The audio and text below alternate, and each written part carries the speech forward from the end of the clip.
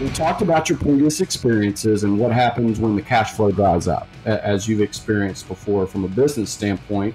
COVID hit the world stage in, in 2020. And so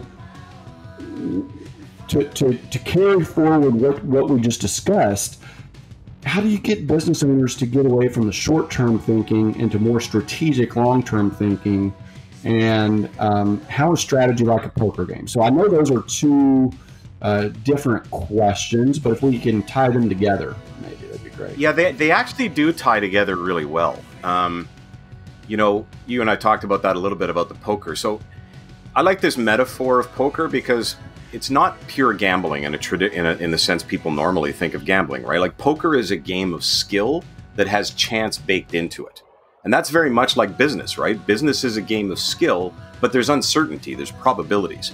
So in poker, a rookie might win a given hand, but a professional will always win the game. And so when you say how do how do you get people focusing on the long term, that's kind of how like what's the game you're trying to win? You're not trying to win the hand. When you're focused on the short term, you're trying to win the hand. Right? When you when you're focusing on the long term, you're trying to win the game. And so to get people thinking about that, you got to kind of think about well what's why are you in this game at all? Right?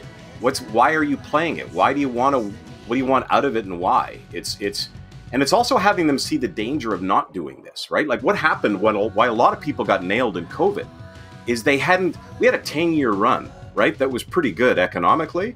And so anybody who started a business within that 10 years, they never got kicked in the teeth. And so they sort of thought this business thing isn't all that hard. And so they didn't necessarily scaffold around the for, for you know risks that were coming. And we couldn't anticipate COVID, but every 10 years there's something, right? I've been through four downturns. There's always a downturn.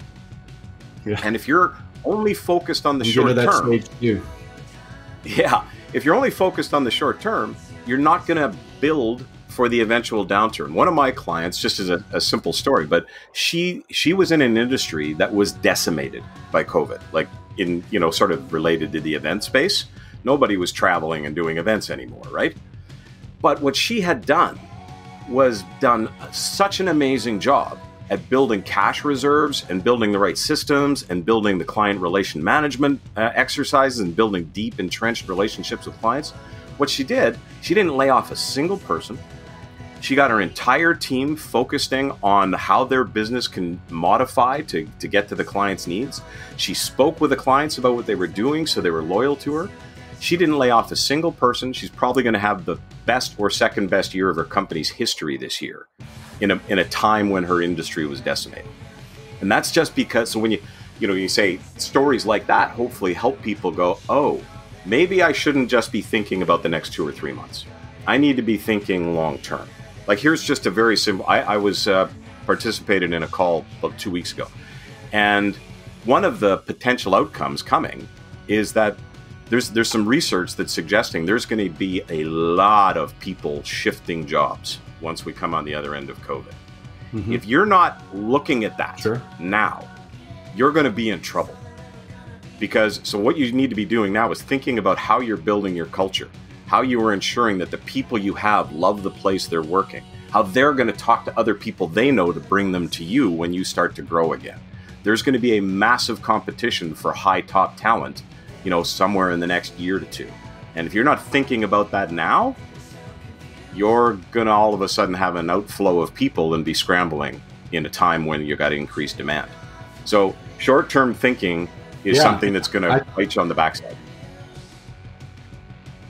Yeah, and that that actually leads into the next question. I don't know if you did that on purpose or not because you because you've seen the questions, but when when we talked a, a couple of weeks ago, you said something that was in, impactful to me. I thought it was a great quote. I'm going to attribute it to you. Uh, if you took it from someone else, sorry. But in the face of an uncertain environment, don't tortoise, but instead plan.